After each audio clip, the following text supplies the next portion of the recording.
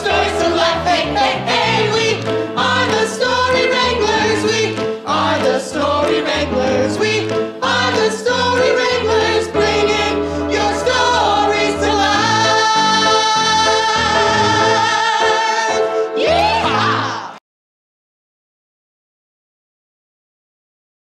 Our next story was written by the Gold Group, and it's called Burrito Princess Gets a Burrito Unicorn.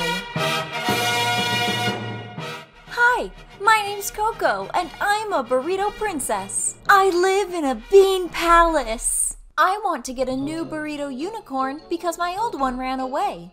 There might be one outside. You can't pass Burrito Princess Coco. We are protecting this burrito unicorn. It is for your father. You can just give it to me, and that's like the same thing. No, your father doesn't want to repeat the last time. Good night, my burrito unicorn. I love you so much. I know how much you like to prance in the field, so I'll leave the door open for you. See you tomorrow. Good morning, Burrito Unicorn. Oh no, where did you go? Oh no, Coco. What's wrong, daughter? I can't find my burrito unicorn. That's odd. I remember you put it in the stables last night. I left the door open so it would walk around. She ran away and got lost. You are not responsible enough to own a burrito unicorn yet. Please, this time it'll be different. No, we won't give it to you. Perhaps you could speak to your father about the matter. It is his order that we are following. Hello, father. There's no need to worry about me today. I'm going to go play outside. Have fun! Hmm, I need a plan to get that burrito unicorn without my father noticing. I've got it! I'll make a sleeping potion. I had such a nice time playing outside, Daddy. I uh, got tired, so a servant made lemonade. I have some for you too. That was very thoughtful of you, my daughter. Thank you very much. Drink it, drink it, drink it, drink it. Ah, How refreshing! Oh, I'm so glad you like it. I'm about ready for my afternoon nap. Bring all the guards to protect the interior. It worked! Now I can sneak out the back door. Wow, it's even more beautiful than I remember. Hello, Burrito Unicorn. I'm Burrito Princess Coco. I'm here to take you home. Nay! I'll name you Beanie. Let's fly to my palace. Come on, Beanie. The back door is this way. Nay! The view from up here is perfect for gazing at rainbows. End. This story was written by the Blue Group, and it's called Dr. Jazz and the Dancing Hospital. Welcome to the Dancing Hospital with two million sick children. They all suffer from gullibilitis. They'll believe anything you tell them. Everyone at this hospital will dance to make the children feel happy. But Dr. Jazz has the greatest plan. He'll grab a microphone and sing. I hope you feel better. I hope you feel better too. I hope you feel better. Dr. Jazz is helping kids get healthy. He's a doctor with jazz attitude. Dr. Jazz doesn't like adults cause they can be really rude. But kids aren't. He wants to buy a goo goo potion that will cure their disease. Stop their gullibilitis, get those kids on their feet. Dr. Jazz will get your fingers snapping. Dr. Jazz will make your toes start tapping. Everybody loves Dr. Jazz. Bob the donut stole the hospital's money. Now there's none to go around.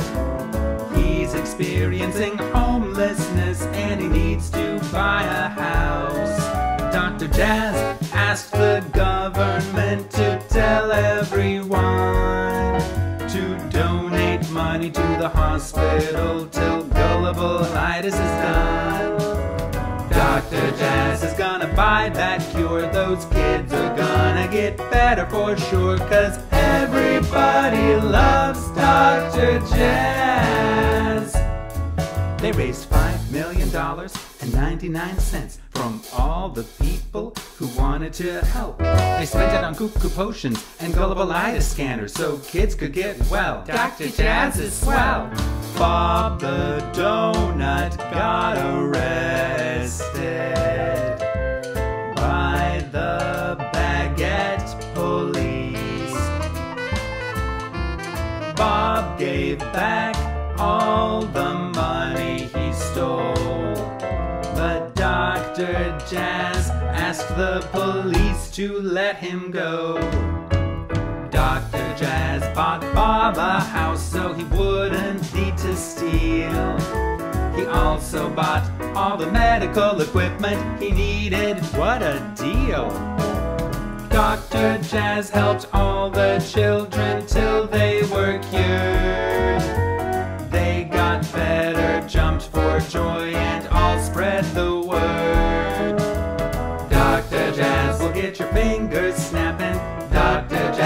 make your toes start tapping. He's the doctor with pizzazz, a healthy dose of razzmatazz.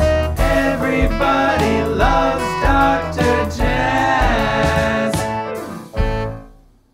The end. This story was written by Aylah, RJ, and Harper, and it's called Mr. Nicebody Teaches People to Be Nice. Some stories make us sing, some stories make us shout. You're amazing. We're celebrating. That's what this show's about. Hey, hey, hey. Hey, kids. It's me, your pal, Story Wrangler Steph.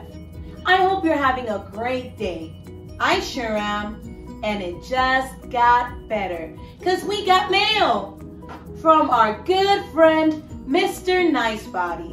He lives in No Money, No Money, No Money, No, California. Do you know where that is? I'll show you. It's right there. Let's open it. It says, Dear Story Wranglers, I hope this letter finds you happy and healthy. Aw, that's so nice, Mr. Nicebody. I'm doing good, and the weather is lovely. But there was a villain named Barry's Kawabunga trying to take over the world and make everybody mean because his childhood wasn't very good and his bucket was empty. Mr. Nicebody needs everybody to be nice because he wants everybody's bucket to be full.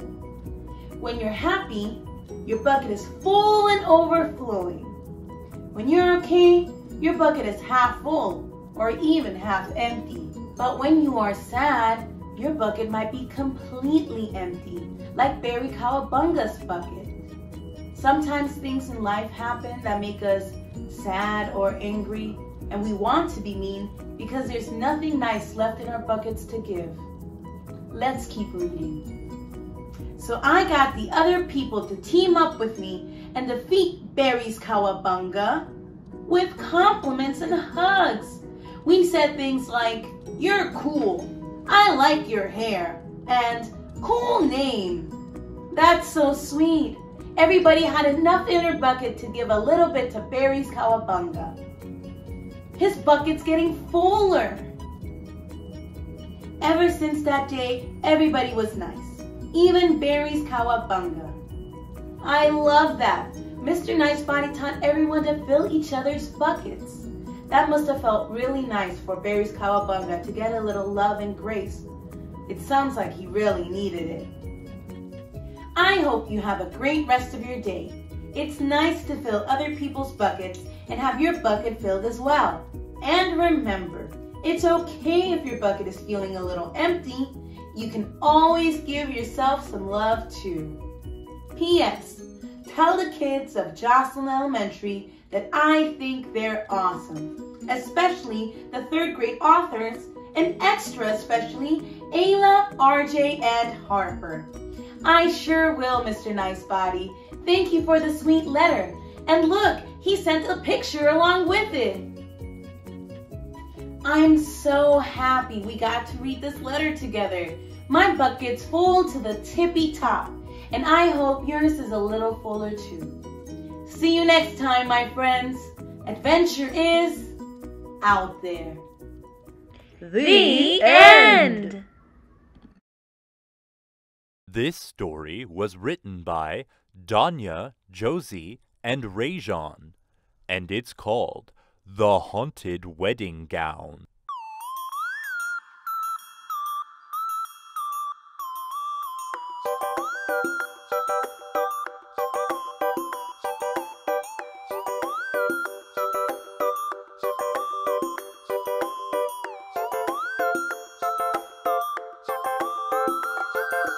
Once upon a time in La Playa Lucinante, there was a tiger y una elefante. He is Joseph, she is Valentina. Él es muy bueno en la cocina. In the playa se están casando. They are getting married, at least that was the plan. Though they didn't know, no estaban listos. The show was a no-go, algo imprevisto. Una boda en la playa, una boda en la playa, la playa,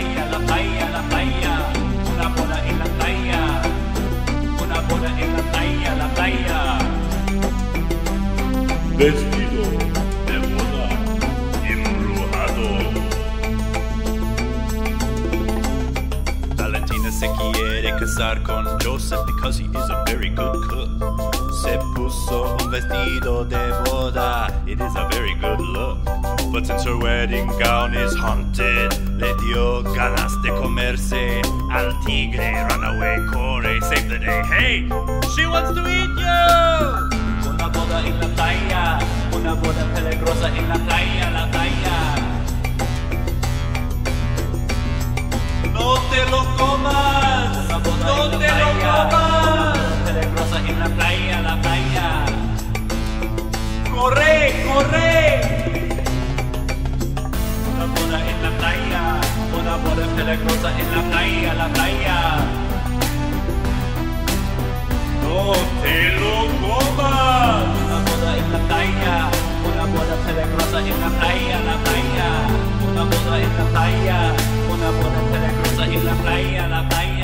Joseph bought her a new vestido rosa and put it on her so fast. She didn't realize es una cosa misteriosa, a new vestido rosa. Los tigres son super rápidos y los elefantes son lentos. So it makes sense. Tiene sentido. And ever since that day in la playa alucinante, el tigre y la elefante elegante, the wedding gown burned, se casaron. And Valentina got to eat, yeah, toda la comida que quería. Just not Joseph. No te comas al tigre. Una boda en la playa, una boda elegante en la playa, la playa.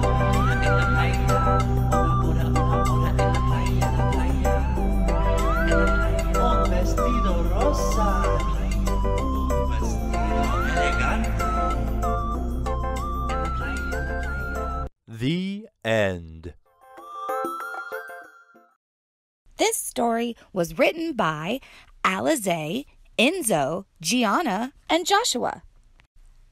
And it's called The Mean Broccoli Wife. Once upon a time, there was a broccoli prince named Daddy. Greetings, royal broccoli subjects. It's me, Prince Daddy. He lived in Broccoli Land. He had a wife named Evelina who was very mean to him. That shade of green makes you look lame, and I hate your tiny crown, and you smell like asparagus. She would yell and break things. I hate this and that and you and bedtime, and I hate Mondays and rainy days and sticky fingers and dogs named Ralph and pickles. I hate everything. Prince Daddy wanted his wife to be grateful and nice, like him. Evelina, my wife, I love you. I just wish you could be grateful and nice like me. But she was cursed to be mean by Lucifer when she was just a baby. Prince Daddy, you know I can't be nice. How I wish I could, but you see, it all happened when I was just a sweet little baby broccoli sprout. Oh my, what a cute baby! I simply go bananas for cute babies. Yeah, like, you never know when a really cute baby's going to turn up. Orange, you so glad this broccoli baby is cute and sweet and nice. That baby is too cute. Nobody ever thinks I'm cute. Let's see how cute they think she is when I curse her to be mean. Hit it, boys. Evelina!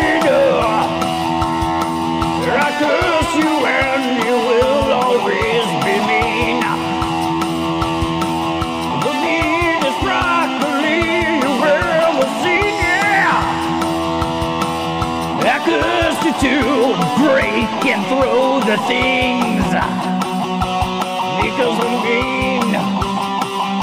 And now you're cursed. And I'm just the worst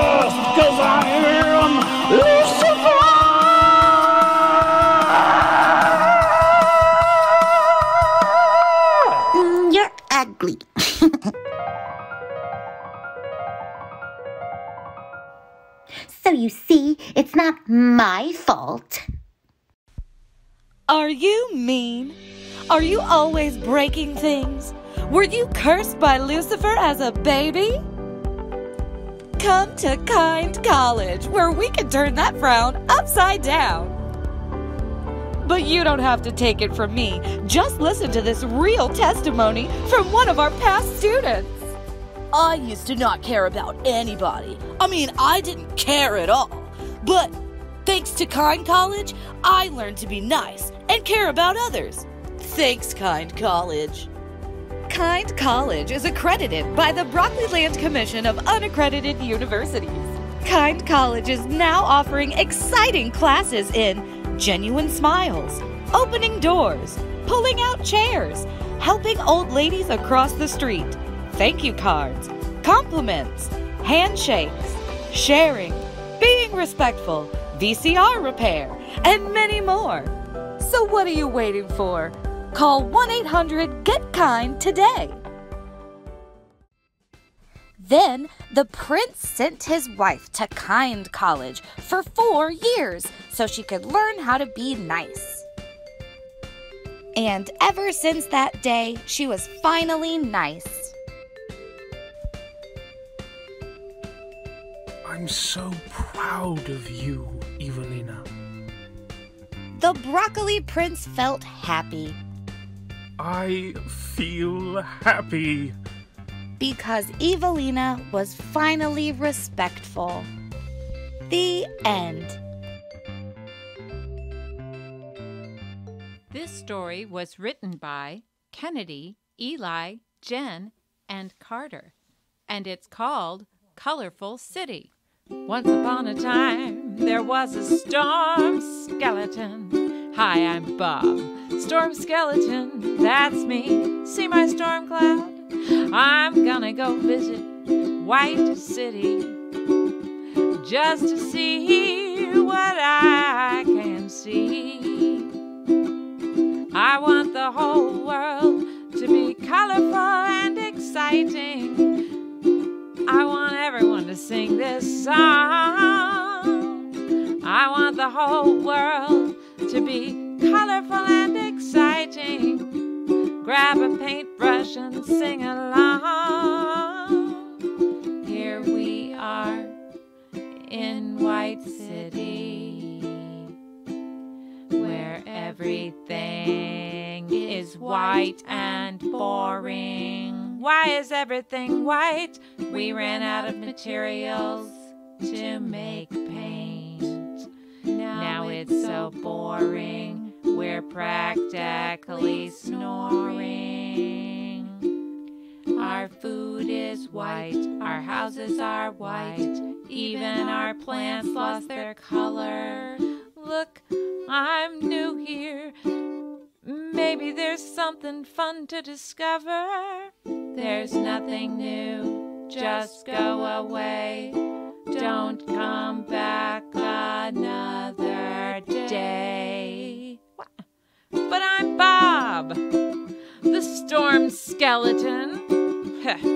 you people have bad vibes. What's the matter with you? Wake up and smell the roses.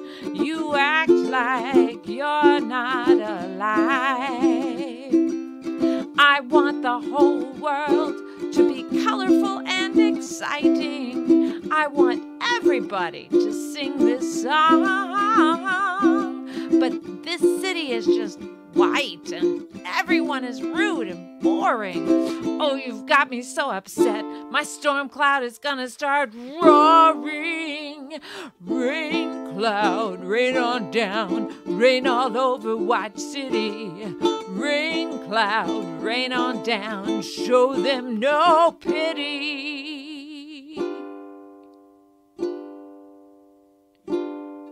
Oh, what's happening look. to the plants. What's happening? The rain made them colorful. With materials from the plants, we can make paint. I'm so happy, I think I'm going to faint. Oh! Let's paint everything. We're feeling happier. Thank you, Bob. You are so clever. Let's keep on painting. White City is so colorful now. We can be happy forever. We want the whole world to be colorful and exciting. Come on, everybody, sing this song. We want the whole world to be colorful and exciting. We've got a colorful city now. Everybody grab a paintbrush and sing along. Hooray! Woohoo! Woohoo! Yay! The end. This story was written by Leo, Arthur, and Veda, and it's called Burger Godmother, the Most Wanted in Wild Louisiana. Once upon a time, there was a burger godmother hiding from the French fry government in an abandoned restaurant in Louisiana. Ooh, doggy. I've been searching all over wild Louisiana for a place to hide, but there are French fry operatives everywhere. Oh, what is this? An abandoned restaurant? Well, doggone it, this looks as good a place to hide as any. Hey, doggy, let's get in there. She wanted to live in the restaurant because she had to protect her magic from the government, so they couldn't take over the world using her magic. Found a burger, my favorite. Here, here. This meeting of the French fry government is officially in session. Thank you, Vice President Crinklecut. As president, I promised you all we would take over the world. And take over the world we shall! When I discovered my powers as a baby in Baton Rouge, I solemnly swore I'd only use this magic spatula for good. Once, I saved an entire village from a bona fide blizzard by wrapping him up in humongous burger buns. There was the time I put out a 30 mile long wildfire using nothing but ketchup and mayonnaise. And who could forget that sinking ship? I saved all the sailors by making them lifeboats out of gigantic slices of cheddar cheese. I've always used magic to save lives. But the French fry government wants to harness my powers and use them to take over the world. I guess I'll just have to hide here, even though it is awful lonesome. Maybe I could use my powers to bring the restaurant to life. Then I wouldn't be so lonely. If only I could think of the right spell. Hmm. But the French fry government found her hiding. Freeze, Burger Godmother!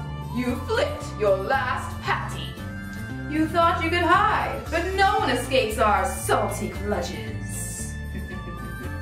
They took her to a jail cell deep in the mountains and tried to take her powers using their burger meter. Our scientists have developed an advanced device known as the burger meter.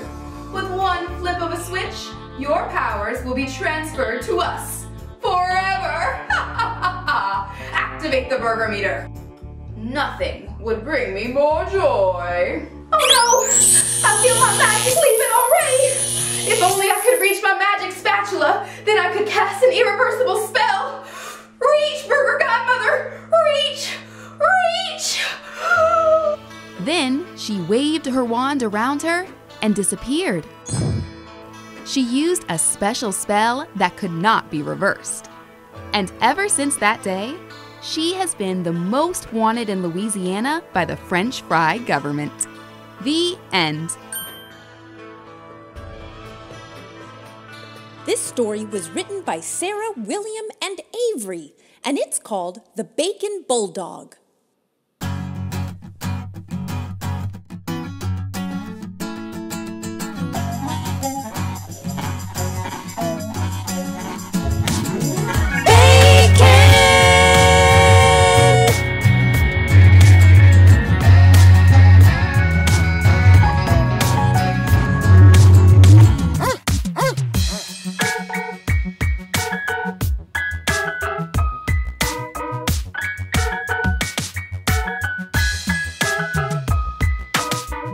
Upon a time, there was a baby bulldog named Bacon. Bacon harassed his owner in the house so he could get more bacon flavored treats. His owner is named Waverly, but you can call him Wavy, cause we're friends like that. Wavy was happy about giving his puppy treats. He loved to see his puppy bacon. Bacon, the baby bulldog. He's salty and sweet, friendly but crazy. Bacon, the baby bulldog. He's salty and sweet, friendly but crazy. Bacon wanted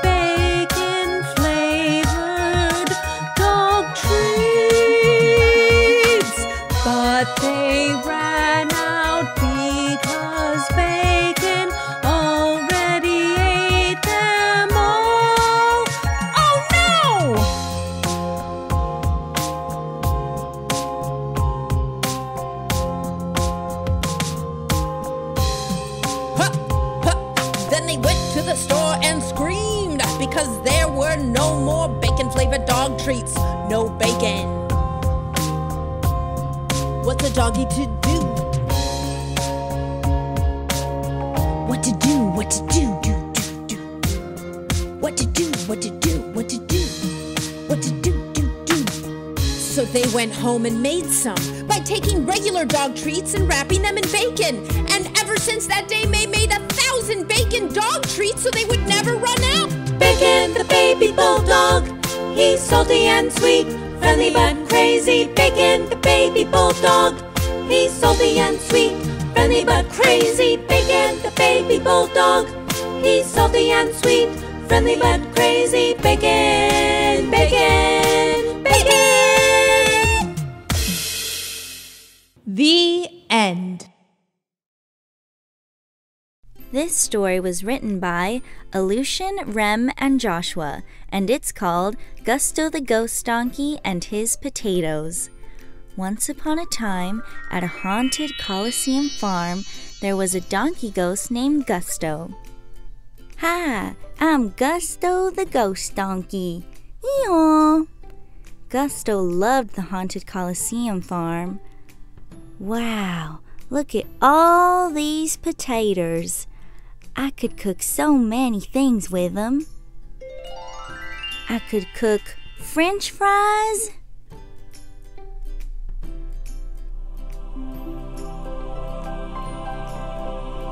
And baked potatoes.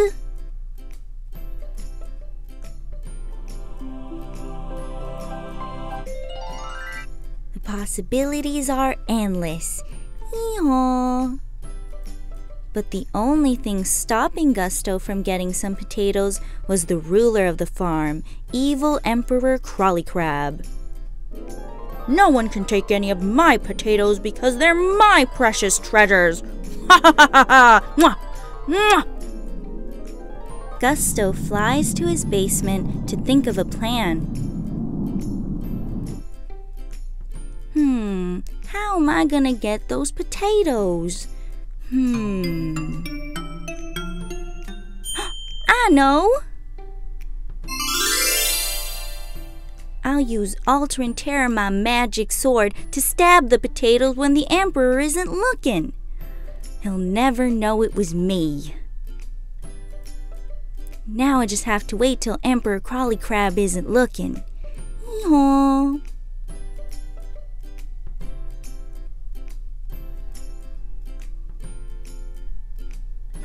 Now's my chance!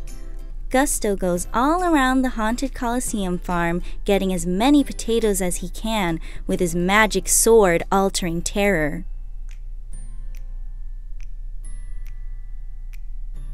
Wow! I can't believe I got all these potatoes without Emperor Crawly Crab knowing. Hmm.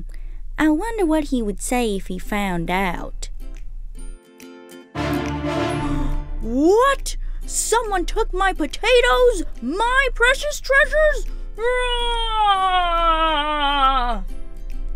And ever since that day, Gusto the ghost donkey got his potatoes from a local farm because he was still kind of scared of the Emperor.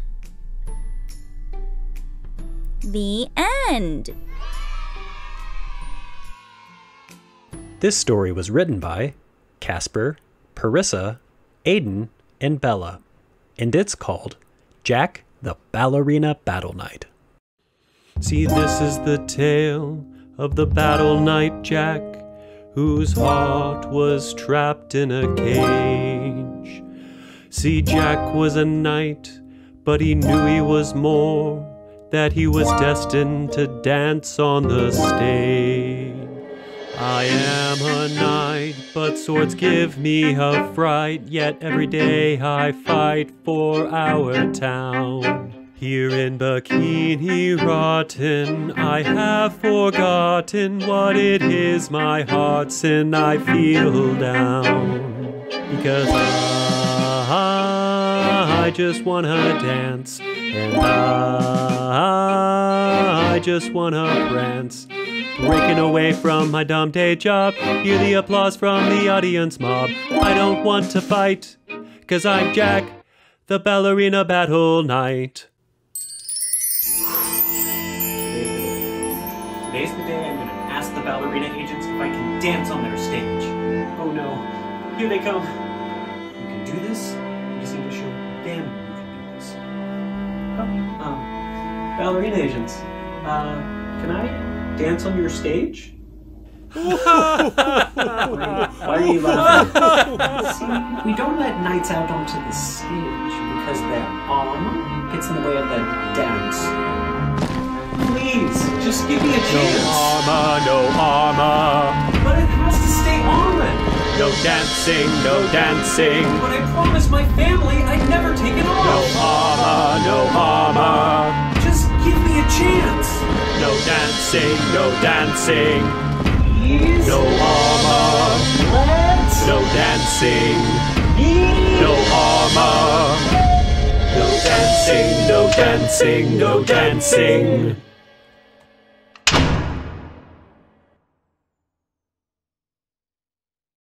Because I just want to dance, and I just want to prance. I'm stuck here in my dumb day job. I'll never hear the audience mob. I don't want to fight, but I'm just a battle knight.